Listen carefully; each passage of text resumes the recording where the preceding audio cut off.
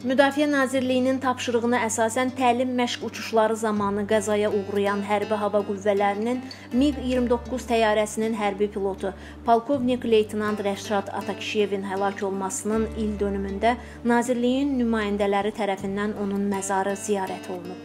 Əklil qoyulub və xatirəsi ehtiramla yad edilib.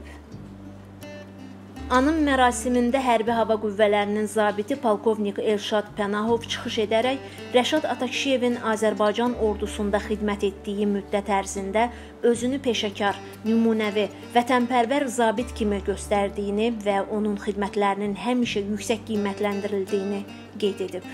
Allah rəhmət eləsin.